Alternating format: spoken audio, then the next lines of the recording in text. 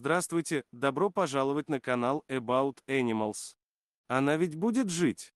Робко спросила женщина у ветеринара.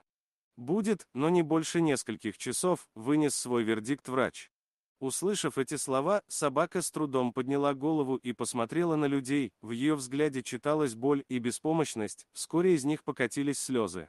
Она была еще молода и почти не жила, а ей уже вынесли смертельный вердикт. Мы не сдались, тем более, что и сама цыганочка не собиралась расставаться с жизнью так просто. Собака боролась за каждую минуту, за каждый час своей жизни. Дважды она была на грани, но нам удавалось вовремя найти для нее доноров.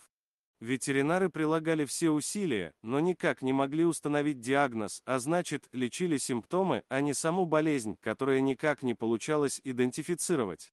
Пару раз я собиралась вести цыганочку в клинику в столице, но она была слишком слаба и нестабильна, ветеринары опасались, что дорога будет для нее фатальной.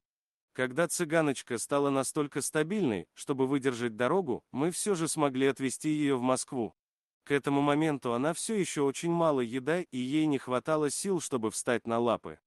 В московской клинике собаку приняли с распростертыми объятиями, сразу же был созван консилиум, понять, что стало причиной болезни удалось не сразу, но в конце концов диагноз был установлен.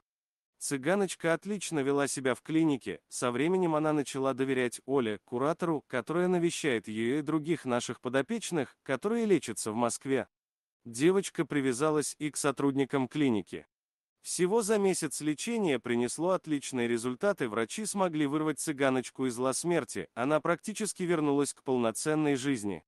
Лечение еще не окончено, но врачи уверены, что цыганочка будет жить. Пока она не проявляет особой активности, но постепенно привыкает к нормальной жизни, учится гулять на поводке и социализируется. Чтобы собака быстрее привыкала к людям, управляющий клиники поселил ее в своем кабинете, где ей гораздо интереснее и веселее, чем в закрытой клетке. Спасибо за просмотр. Подписывайтесь на канал, где вы найдете еще много интересного, а также ставьте лайки и пишите комментарии, что думаете насчет этой истории.